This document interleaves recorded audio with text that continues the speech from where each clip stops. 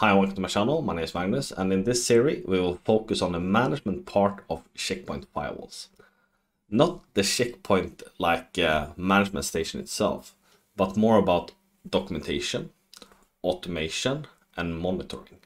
So we will build in our lab, we will build a management network containing the new Skyline from Checkpoint this is a new monitoring tool that using telemetry instead of SNMP, so it's a lot better. And then we will be using Ansible for automation. And we will drive this via Netbox, that is like the source of truth. And Netbox as standard doesn't have like a firewall module, but you can work around that. Um, Ansible is more or less the industry standard for automation. And Skyline is built on Prometheus and Grafana. So more or less, we will install a few Ubuntu servers in a dedicated management network. So if we start to talk about Skyline.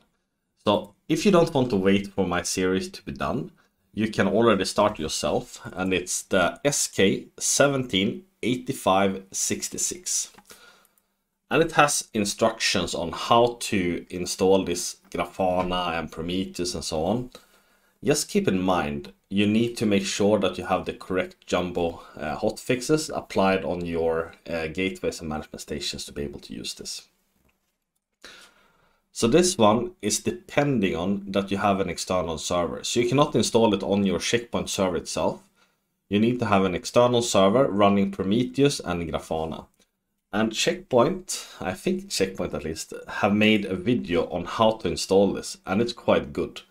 So I will just link this in the description below. So they go through almost all the steps in the way. They don't show you how to install the Ubuntu server, there is different videos for that one, but they show you how to install Prometheus and Grafana and also connect it to your gateway. And then you're able to see like um, the stats.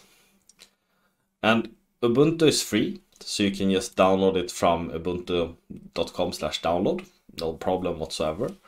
Um, there is a GitHub referring to this YouTube video with all the instructions. More or less you just copy paste and it should work. And then you can also go to the community and uh, he have made some nice dashboard that works for the clusters as well. So this is both checkpoint driven and community driven. This is a step in the right way because we need to move away from SNMP where you pull like a device every five minutes, every one minute. It doesn't work anymore. You need to pull it a lot more frequently. And the easiest way to do that is to use telemetry. More or less that the device itself, it sends the data to, to uh, well, to a server that collects all and do nice graphs of it. And Prometheus and Grafana is also like industry standard. Everyone using it, so Checkpoint is doing the correct way. And when we come to, to Netbox, this is also open source.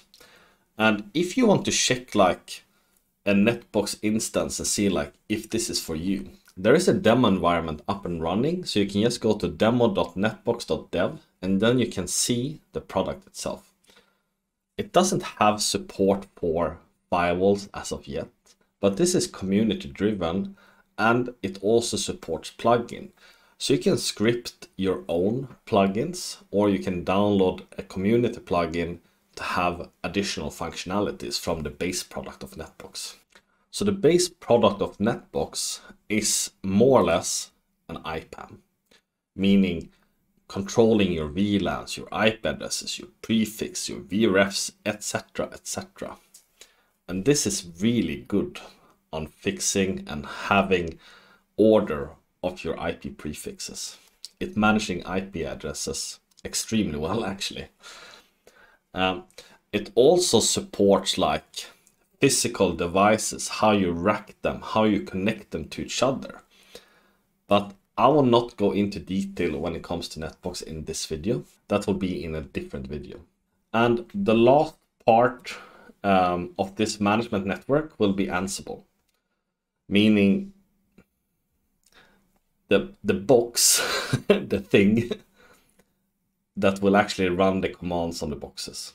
So it will connect to, it will use Netbox as a source of truth, meaning it will gather information from Netbox, how we want to configure it, and it will send the commands to the checkpoint boxes or to the Cisco ACI or whatever and do the configuration. So the goal of this is to have a nice monitoring and to have some automation in place so we can work easier.